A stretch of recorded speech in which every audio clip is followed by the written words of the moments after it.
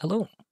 Today I'm going to go through the process of creating a neck for a custom character model and creating a yaw and pitch animation to go alongside it.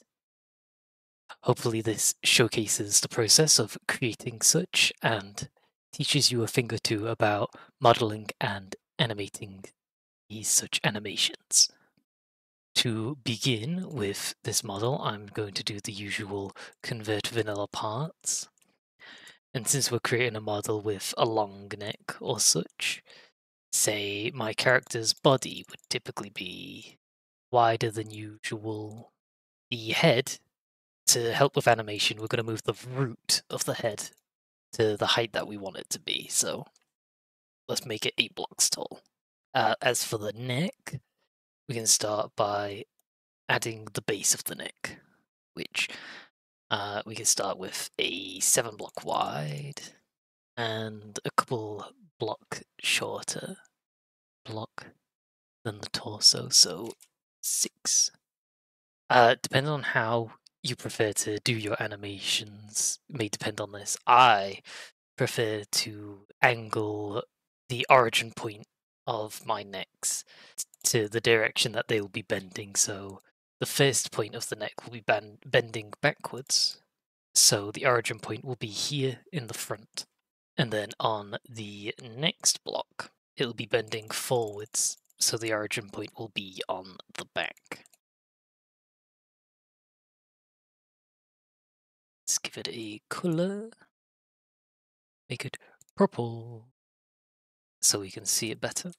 Uh, I'm going to duplicate the top piece, move it back into position. Now I'm going to quickly adjust this a little bit to make it look a little better. And we can put the neck, the head, however we please.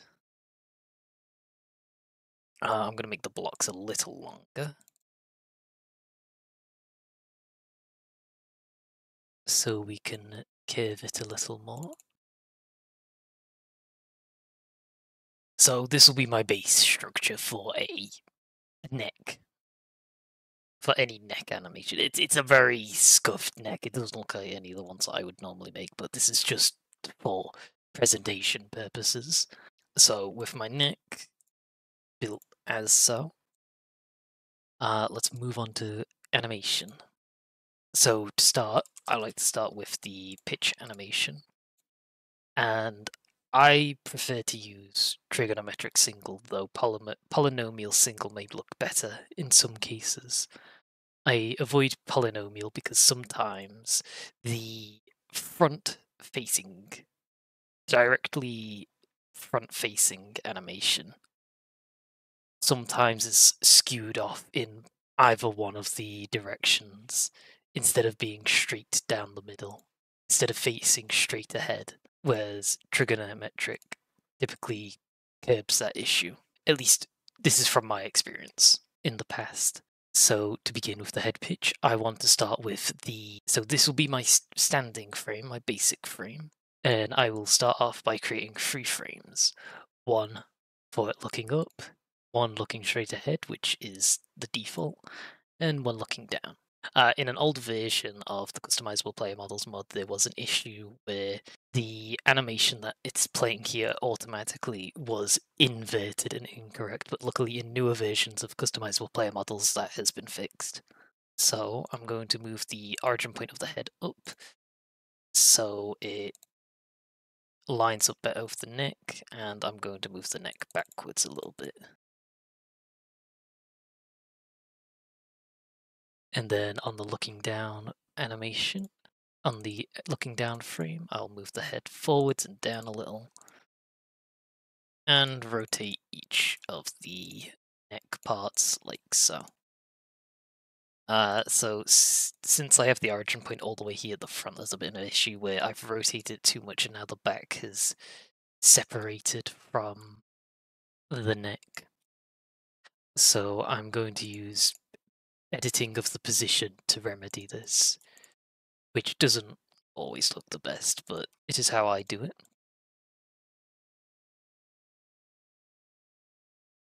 and it looks really off, but I hope that gives a basic understanding of the animation. Although it looks quite odd. And if you want to test this in the test section, it should be under held item, head pitch. And in the animations, because these blocks aren't using a texture, they appear to change their color in the animation. Uh, and the problem with this is the animation of the actual head itself is not updating. So the best way to test this is in-game. Uh, but before I do that, I'm going to also animate the yaw animation. Uh, for the yaw animation, this is the one that I would especially have trigonometric single set to, since it is the most noticeable one of the two. Uh, so in this case, we'll have three frames to start with.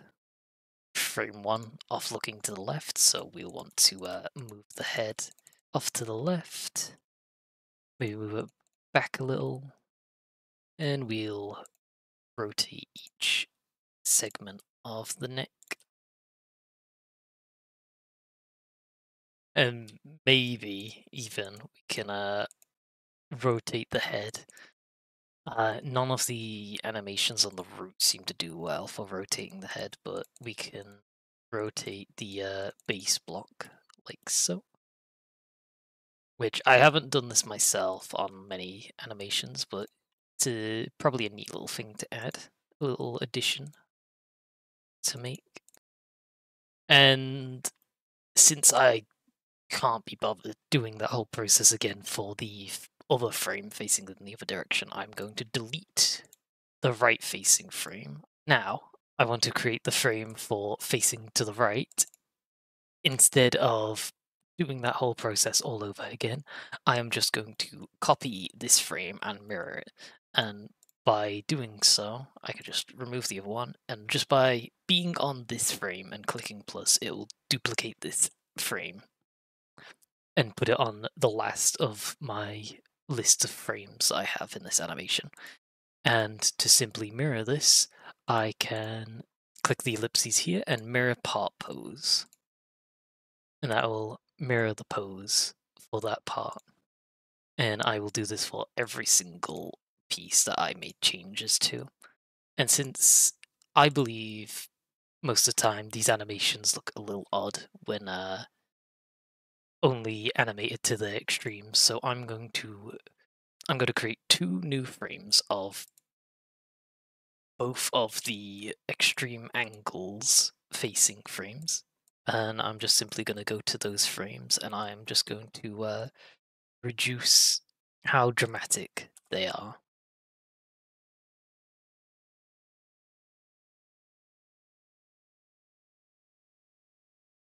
This is rotated by 30 degrees. I'm going to reduce that to 15. And I'm going to move the root to a better position. And since I don't want to go through the effort of copying that, I'm going to delete this other frame in the opposite direction. Duplicate that. And then mirror each part pose again. And that's my basic head yaw and head pitch animations. And with that, I'm going to quickly save the model and test it out in game. Alright, test in game. And then we can see the uh, abomination that I have created.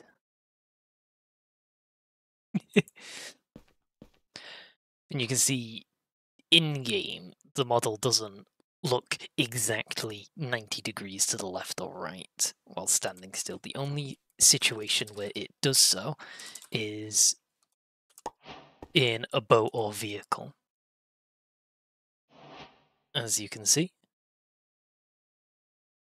since the body is locked in place and doesn't allow it to rotate when you turn.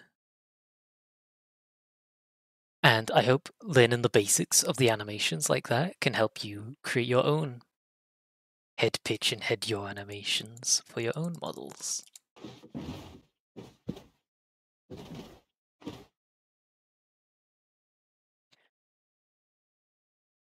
I hope this helped. If you have any questions, feel free to leave them in the comments, or if you want to ask me, get a response sooner, you might be able to catch me live on Twitch at desert underscore tortoise, and I may be able to answer your questions there live on stream. Thank you all for watching, and I'll see you in the next one. Bye now.